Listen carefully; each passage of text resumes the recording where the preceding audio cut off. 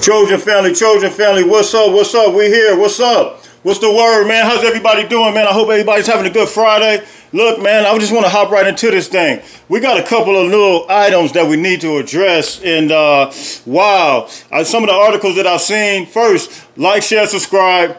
USCJ32 on Instagram. Like, share, subscribe. USCJ32 on Instagram. Check this out.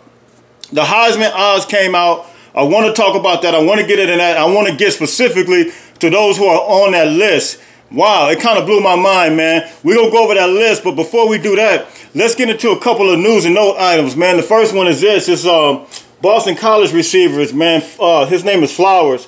Turned down, listen to this, turns down a 600K offer from one school, then he turns down a 300K offer from another school. Like, dude, what is it getting to the point? When can we come to a point to where, like, every athlete's not going to be a Jordan Addison? Every athlete is not a Caleb Williams. Everybody's not going to get that, that big time deal. I don't even think that guy's as good as uh, Mario Williams. Now, this guy, Flowers, he turns down this, this big NIL deal, 600K from one school and 300 from another school, and they said he went in the portal what are you looking for? Like, like what, what do you think you're going to get? I, I haven't even heard his name surface. I, I, mean, I mean nowhere. I haven't really heard his name a whole lot in, in, in this whole portal ish, uh, portal deal. So listen, like, share, subscribe. USCJ32. That's one deal. But here, here, here's the Whopper right here. Here's the Whopper with cheese, lettuce, and onions, and tomatoes, and all kind of other stuff. Because this one right here is going. This, this is this is mind-boggling. It's mind-blowing. How about this? Here it is right here the SEC, Pac 12 commissioners, they're coming together to meet with members to discuss NIL legislation. The SEC and the Pac 12 are coming together to meet in, uh, with Congress for the NIL um, um, legislation. When in the world have the Pac 12 and when has the SEC ever really just agreed on anything? Or, I mean, what, why are we why are we getting hoodwinked to get locked in with the SEC? Why do we care about what the SEC thinks? Why do we have to try? I want to read this to you though before we get into these Heisman odds. I want to read this to you because this you would think the Pac-12 commissioner would have more sense to be able to say, look, this NIL thing is going to benefit some of our schools, some of our brand schools, some of our you know blue blood schools like USC. So why are you going to try to side with them to try to put a hold on this thing at least let this thing go for one year. Now, I do think it needs to be regulations, right?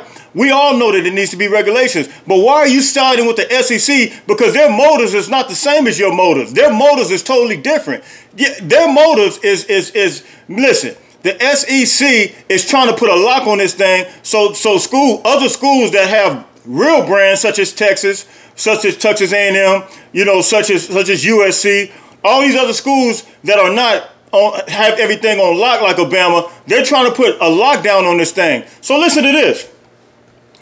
Listen to this. This is this is from the SEC president.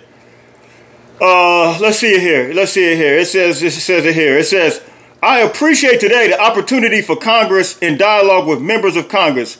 SEC Commissioner Greg Sankey said in a statement Thursday night, "As we have observed activity emerge, it is very difficult. It's very different for original ideas around name, image, and likeness, it's important to continue to pursue a national NIL structure to support the thousands of opportunity made available for young people through intercollegiate athletics programs across the country.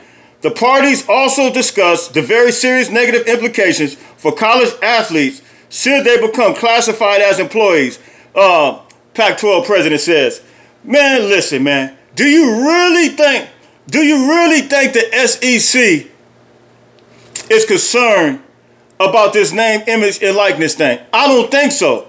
Because for years, like we said, we're gonna talk about this Heisman thing, for years, as we said, it's been it's been it's been secret handshakes. And I told you my guys in my video, a, a couple videos a while back, and it was a, you know the article with Fred Taylor, ex NFL running back that played for Florida, end up going to Georgia, uh, well, end up going to Georgia, uh, Florida, but got $50,000 from Georgia, but end up going to, to Florida anyway. This stuff has been going on. So you telling me, you telling me now you really care? Now you really care about where the, the, the way the money's being distributed. Now you really care about the way the money is being issued out. Man, come on, man. And for the Pac-12 commissioner to follow, you know, to get in sides with this guy, man. You, I mean, you the one that's gonna be losing, man. You the one that's gonna be losing out. It's not gonna be the SEC commissioner is gonna be gaining on this. And so now he, the SEC commissioner says this: I appreciate the opportunity for Congress and dialogue with members of Congress. SEC Commissioner Greg Sankey said. Thursday night as we observe activities emerge that is very different different from the original ideas of name, image, and likeness. I'm not saying that we don't need. I'm not saying that we don't need regulations, but I, what I will say is this: I will say that with, with them two meeting together and coming together, the SEC and the Pac-12 commissioner. What I'm saying is this: it's not going. It's going to benefit one more than the other. I can guarantee you that. Like, share, subscribe. USCJ32 uh, on Instagram. And let me tell you this: Jordan Addison, you better hurry up, buddy. Jordan Addison, you better hurry up and decide now because once this legislation goes into place, you, you, hey, you, your opportunity to receive money is over. I'm done with that. Like, share, subscribe, USCJ32 on Instagram. You can get the most, the most money you can right now, so go ahead and sign. Uh, listen, so listen, this is the Heisman odds. I need you guys to tell me in the comment section, do you agree with the Heisman odds? I'm going to go, I'm going to go through this list real quick we're gonna talk about this list, but I'm gonna ask you a particular a couple of questions. What do you notice about this list?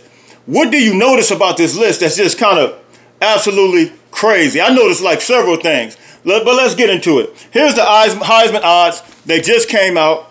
The number one Heisman, they got C.J. Stroud plus 22. I'm sorry, plus 200, Ohio State. Second is going to be Bryce Young. He was the Heisman Trophy winner from last year. He's plus 400. That's going to be Bama. Third, we're going to have our one and only. We're going to have Caleb Williams plus 1200 SC. Fourth, we're going to have DJ from uh, Clemson plus 3000.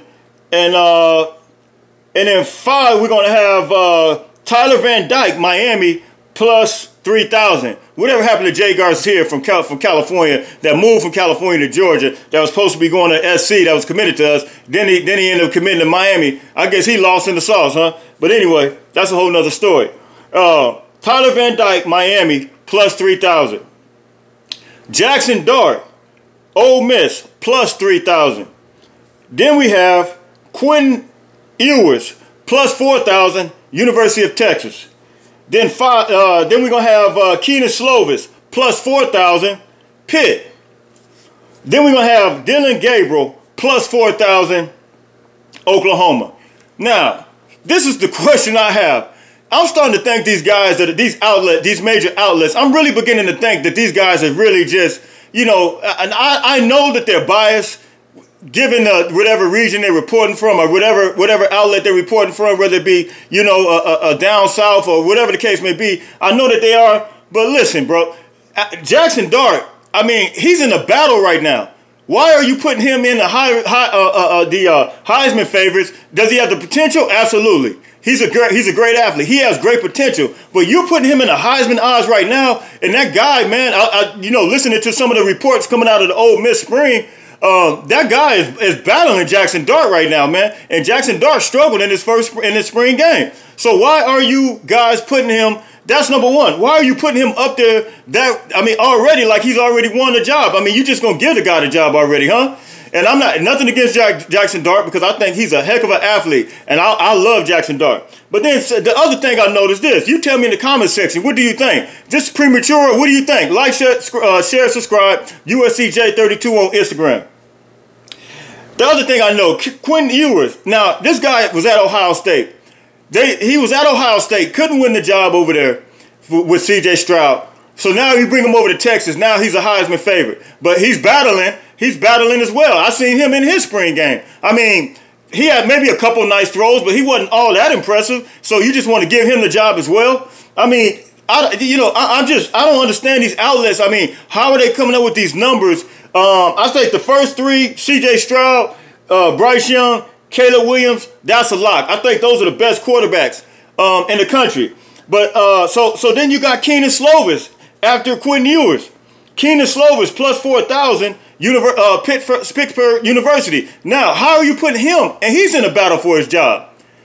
No, I'm not hating on him either. He's in a battle for his job. How are you just going to place the man in Heisman favorite? They placed him in Heisman favorites when they were when he was at USC. So how are you placing him a Heisman favorite already? And and he he's in a battle for his job. I told you he threw a pick uh, in a spring game. I watched it again yesterday.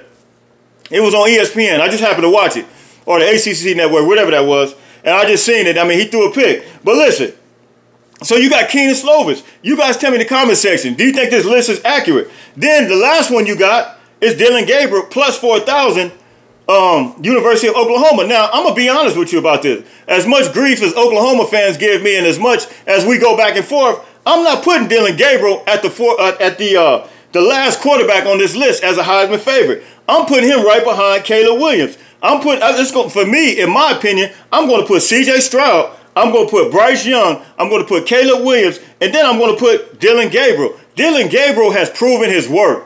Dillon Gabriel was at UCF and balled out. And you telling me that Quentin Ewers, Tyler Van Dyke, Clemson quarterback DJ, Keenan Slovis, Jackson Dart are all better than Dillon Gabriel? If you don't get out of here with that foolishness, that is the most ridiculous thing I have ever seen in my life. So get Dillon Gabriel out of all of these guys is at the very bottom of this list. I'm not feeling that.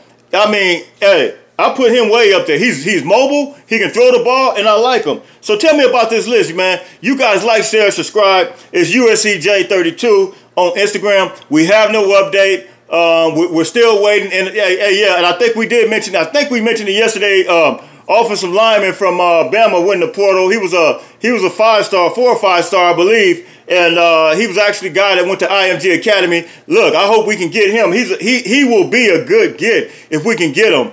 Transfer portal guy, Alabama, and we still waiting on Jordan Addison. We still waiting on something. We still got some good guys. We, we got some real quality players in the portal, and uh, I, I think I think it'll be um, a good get. So listen, like, share, subscribe. USCJ, small update. Nothing, nothing uh, in particular as it relates to Jordan Addison, but it is an update as it relates to uh, these Pac-12 and the SEC uh, commissioners coming together. Man, listen, Jordan Addison better hurry up because once they come together, it's going to be, man, it, it's going to be over. You're not going to be able to sign those deals. They're trying to put a limit on these deals to where you can't get it. And so it, it, I hope he's not trying to be just, just super, super like trying to see what the best deal is because you got an offer from somebody like USC or whoever, Texas, whatever the case may be. Sign your deal, bro. Go get your money. You might get hurt. You never know. Don't wait on these guys because the commissioner, the Pac-12 commissioner, I just I don't even know what to say about him. I mean, I, I don't even know. But listen, like, share, subscribe. USCJ32 on Instagram. Listen, I need you guys keep throwing up that deuce. Throwing up that deuce. Fight on.